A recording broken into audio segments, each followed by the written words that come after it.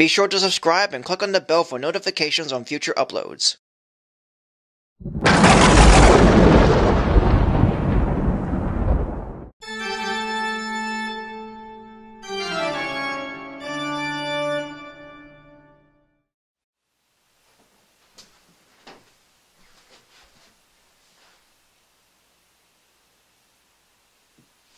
Hello everyone, Simon Bard here, or you can call me Sully. Well, in continuing with Sulli-Ween, I'm about to review an underrated Halloween cartoon. One that is a remake of a Disney cartoon and by the same director, but not from the same studio.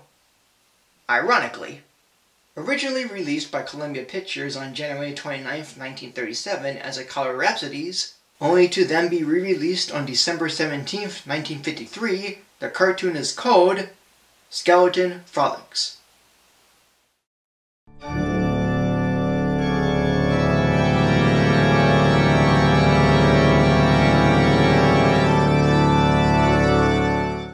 Director Ub Iwerks has done an alright job of doing a color remake of the Skeleton Dance that he did for Disney back in 1929, and this one has decent animation, fine comedy, and even original music. The stuff that's remade, or redone from the Disney cartoon, isn't just adding color, but also having less rubber hose animation and giving the skeletons more character and expressions. Plus, having the skeletons do more than just dance is an addition that makes it a little interesting. There's skeletons making music as an orchestra, they have various dances, and they even scare a walking tree who's very cautious and scared in the graveyard.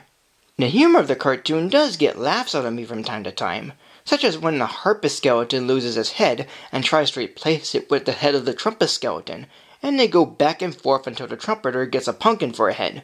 And when the skeletons waltz, one of them loses their parts when they turn as they dance, and they don't realize it for a while. But as much as I find enjoyment in this cartoon, the one issue I have of it is that it can be forgettable, and it could be because of it compared to the original Skeleton Dance cartoon, which is shorter, basic, and left more of an impression. Ironic since Ub Iwerks directed both cartoons and this one does more than the original, yet this one became forgotten over time.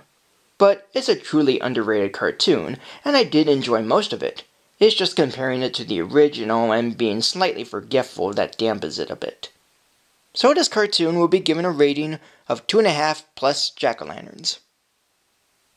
And that is it. So thank you for joining me. Like, comment, subscribe, follow on Facebook or Twitter, support me on Patreon, and tune next time for more of Sulli-Ween.